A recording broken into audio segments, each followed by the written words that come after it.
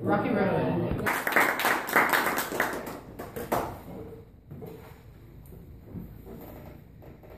Have you ever thought of life like a song? By the way, this is my icebreaker speech. I just wanted to clarify that so you know.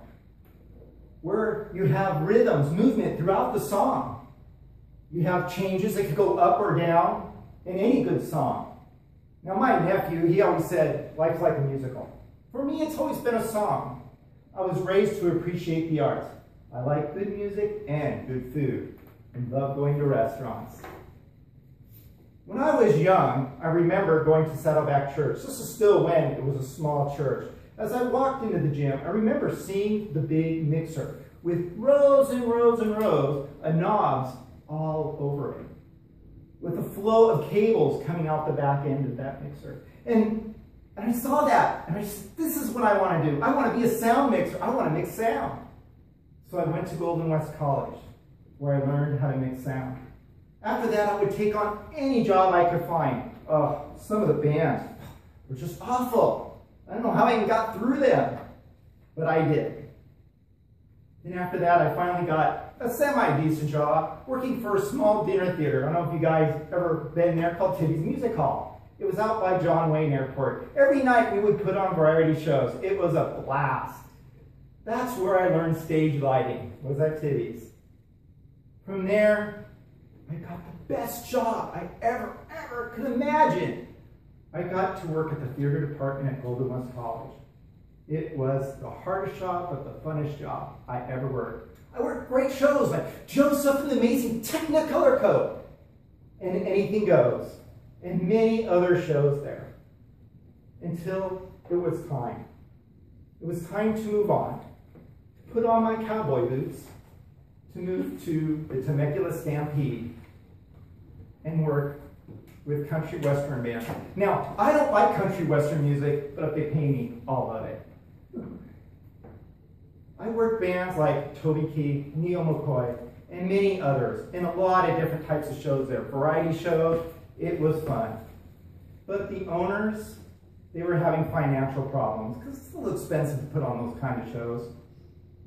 And they stopped having bands. Now, the economy at this time wasn't great, but I was having a hard time finding work. I was really frustrated. And I decided to take a normal nine to five job and a normal paycheck. that decision that I made, I realize today I made the wrong decision. But that's okay. I lost two things. I lost my dream and I lost my creativity that day when I made that decision. I got a job working in a small retail store or like a mailbox, etc. type store. And I stayed there for some time. And at one point, the store changed ownerships. And they asked me to stay on. So I did. And I almost stayed on there a little too long, almost 20 years at that particular job. The new owner got sick. He got ill. He got cancer. And I remember the day we had a meeting at Coco's and we were sitting there. And he goes, John, I have to close the doors. I have to let you go. And I just remember choking up. I've been here for 20 years. What am I going to do now? And it was tough. I thought I had it all worked out.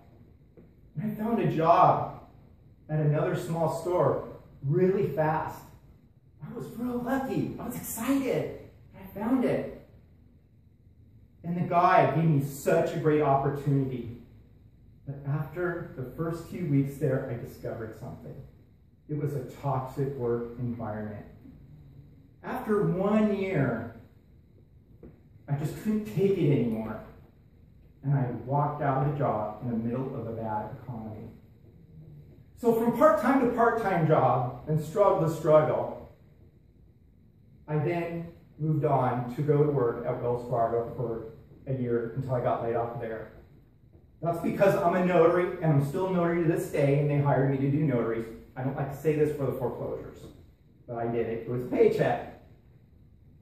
But one thing during that time was I ran into old, an old friend, and she goes, John, you should join Toastmasters. Yay! And her name was Peggy. I go, Peggy, you're nuts. Now, I had a self-confidence problem at this time after leaving that bad job, but I told Peggy, you're crazy. Me, Toastmasters? Peggy was the type of person who would not give up. She would stay on it. John, you should join Toastmasters. So I finally went. And Toastmasters gave me my self-confidence back. It gave me my dream back and my creativity. My song is still being written. Right now I'm working part-time at Target, but I know that's going to change too. I'm adding new chords to my song, new notes, so I can have a good life song. Thank you very much.